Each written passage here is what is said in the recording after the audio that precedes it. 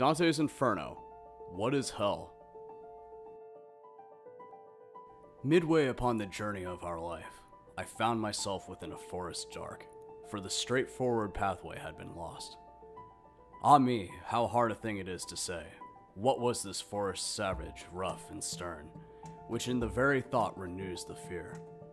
So bitter is it, death is little more, but of the good to treat, which there I found, speak will I of the other things I saw there. I cannot well repeat how there I entered, so full was I of slumber at the moment, in which I had abandoned the true way. Thus begins one of the most impactful works in not just the Western canon, but in all of world literature. Referenced in art and discourse since its publication in the medieval age, Dante's Inferno serves as the accepted blueprint for how we view the underworld. One which Dante described as a netherworld that lurks in the shadows of our subconscious, manifesting our greatest fears while poetically punishing the sins of humankind. But what is it about hell does Dante capture that captivates our imaginations? Is it fear? Or is it the notion of poetic justice where every wrong is made right? Hopefully, we'll answer all these questions and more. But first, before we continue, there's just one disclaimer I should make. Abandon all hope, ye who enter here. Now, join us today as we examine Dante's depiction of hell in the first part of his legendary Divine Comedy. I'm your host, Bob. Now please, sit back and enjoy today's edition of Lit Tips. It was over a decade ago when I first came across Inferno during the spring semester of my freshman year, and at that time, I felt as lost as Dante wandering through that fateful dark forest. Like Dante, I was in my own form of chaos, and upon reading the opening canto of his epic poem, his dilemma not only resonated with me, it opened my imagination to the true horrors of the world. But perhaps even more remarkably, it designed a thoroughly compelling system of justice that exceeded biblical dimensions. I was just starting my journey into the classics, so I was familiar with the few Greek epics and mythologies.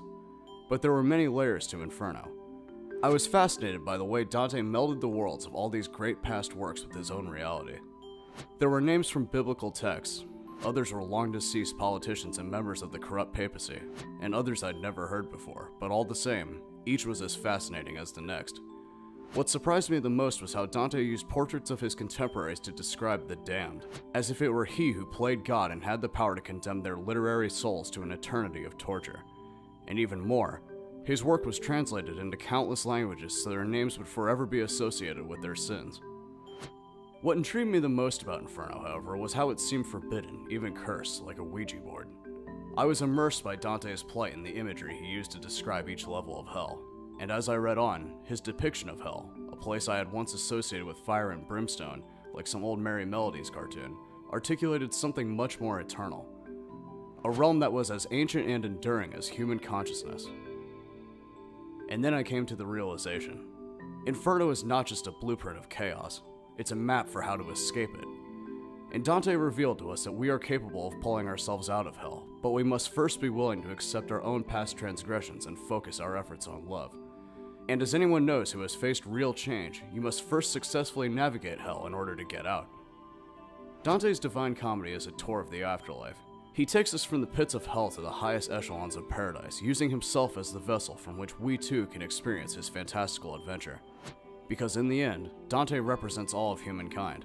And hence, when you read Inferno, you will find yourself walking the same figurative steps Dante Alighieri once took over 700 years ago. The Divine Comedy was published in 1314 and is regarded as one of the greatest works in Italian literature.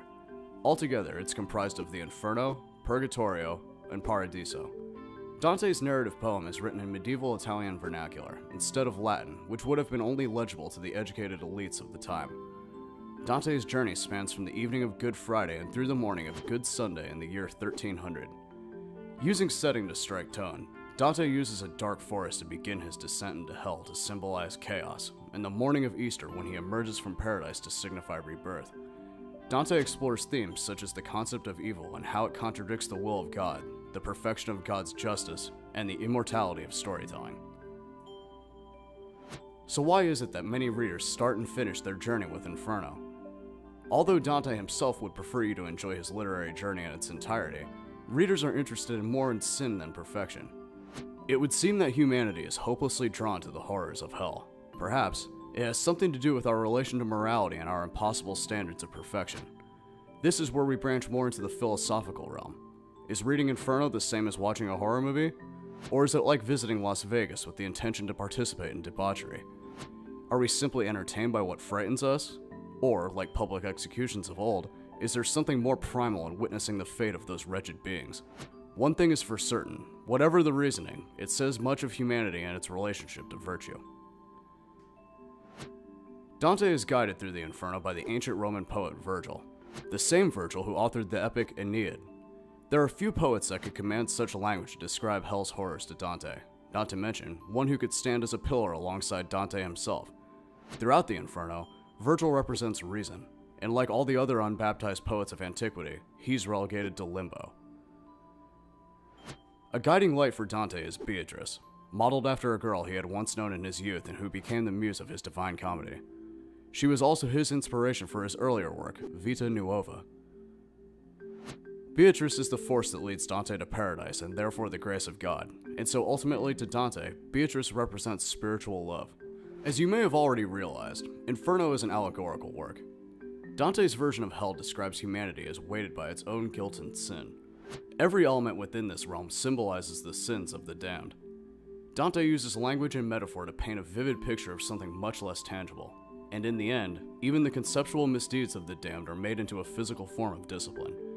The souls which exist in Inferno are neither alive nor dead, as they are defined by their wrongdoings which ultimately define them. Their suffering is perpetual and never ending. In this way, Dante the author has become God.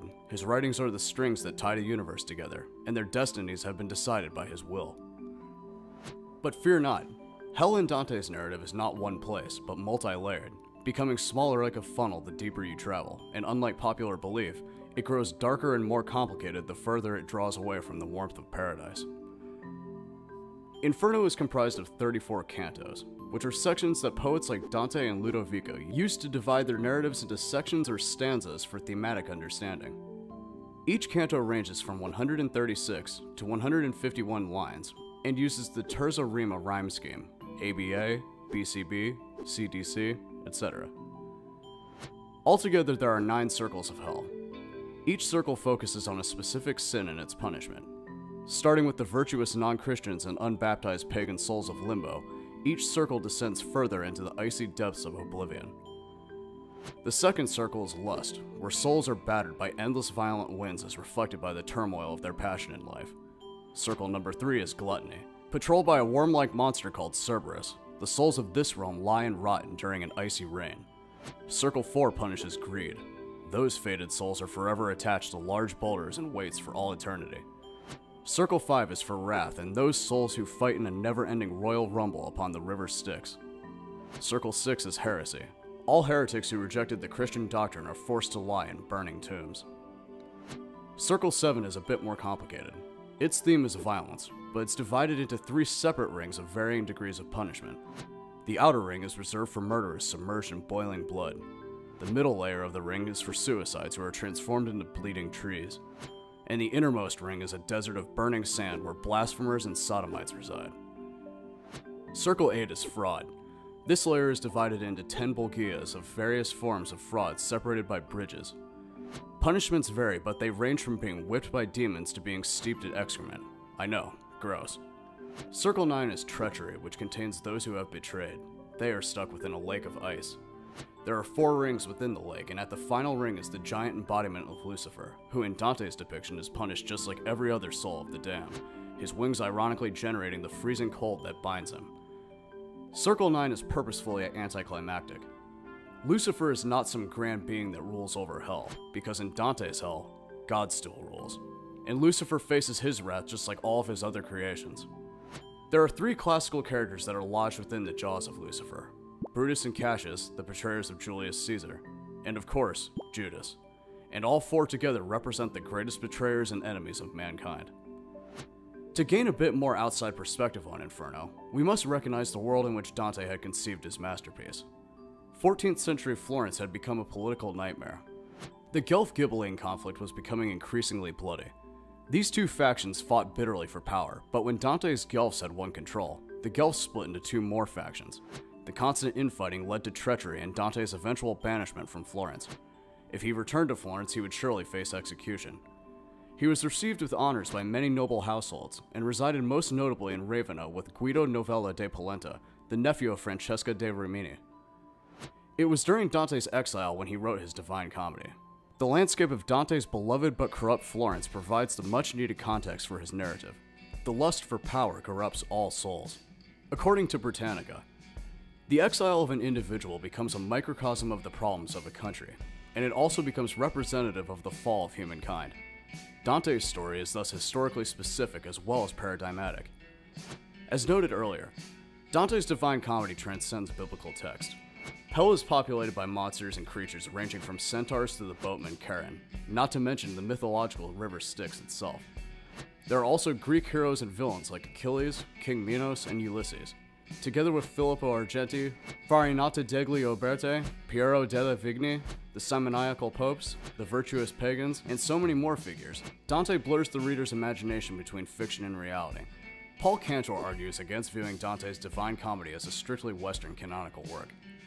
Cantor highlights Dante's use of classical characters and non Western associations as examples that allow Divine Comedy to transcend the canon altogether. In his article, The Uncanonical Dante The Divine Comedy in Islamic Philosophy, Cantor states To today's opponents of the canon, I would thus say instead of rejecting the Western canon, study it carefully, and you will find that it is not exclusively Western after all. The situation is in fact far more complex than you realize, and studying classics like the Divine Comedy or Don Quixote may well introduce you to issues that have been quite central in what you yourselves think of as non Western cultures, issues to the understanding of which non Westerners have made major contributions. It is only by reading Dante non canonically that we become aware of the full richness and complexity of his thought, especially the way he is open to countercurrents of ideas within the supposedly rigid orthodoxy of the Middle Ages. We do no service to the Western tradition when we present its canonical authors as one monument to orthodoxy after another. And we will also find that the Western canon already incorporates non Western components, to the point where an Islamic philosopher can find an honored place among the sages of ancient Greece and Rome in that most canonical and yet uncanonical of all works, Dante's Divine Comedy. We hope that you enjoyed this edition of Lit Tips. As always, hit that like button if you like what we're doing, subscribe for more videos on literature from your favorites to the plain obscure, hit that bell if you want to be notified when videos drop, and leave a comment with your thoughts on this video along with suggestions for any books or authors you would like us to cover in future episodes. Until next time, keep reading.